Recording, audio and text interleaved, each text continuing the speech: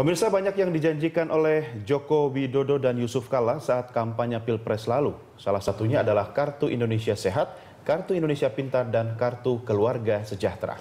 Ya dan Senin kemarin Jokowi merealisasikan janjinya tentang ketiga kartu sakti itu. Presiden Joko Widodo bersama Ibu Negara Iriana Widodo meluncurkan Kartu Indonesia Sehat, Kartu Indonesia Pintar, dan Kartu Keluarga Sejahtera di kantor pos Pasar Baru, Jakarta Pusat. Ketiga kartu ini secara bertahap akan dibagikan kepada 15,5 juta keluarga kurang mampu di seluruh tanah air. Pemerintah menargetkan sampai akhir tahun ini, ketiga kartu sakti ini sudah dibagikan ke 19 kota kabupaten di 9 provinsi. Tahun berikutnya diharapkan bisa dibagikan ke seluruh provinsi. Pengelolaan ketiga kartu ini di bawah koordinasi Menteri Koordinator Bidang Pembangunan Manusia dan Kebudayaan, Puan Maharani. Ini adalah bentuk pelayanannya diperluas. Ini step pertama, ini kayak dulu di Jakarta. Step pertama pegang ini dulu.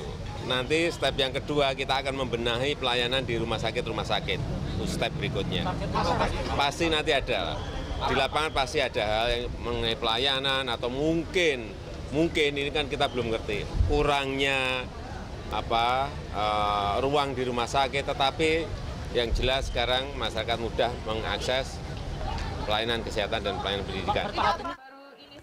Kartu Indonesia Pintar dan Kartu Indonesia Sehat bukanlah bentuk kompensasi kenaikan harga BBM bersubsidi. Kartu ini untuk memastikan rakyat mudah menjangkau layanan kesehatan dan pendidikan. Ya, menjaga daya beli dan yang jelas untuk memberikan pelayanan kesehatan dan pendidikan pada masyarakat. Mulai kapan, Pak? Apanya? Tidak bisa saya sampaikan.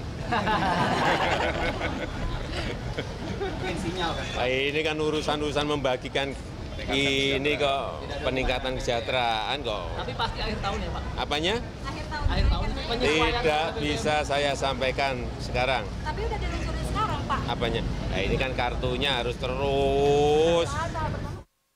Presiden Jokowi menginginkan dengan kartu keluarga sejahtera, daya beli masyarakat dapat terjaga dan kesejahteraan masyarakat tetap dapat ditingkatkan.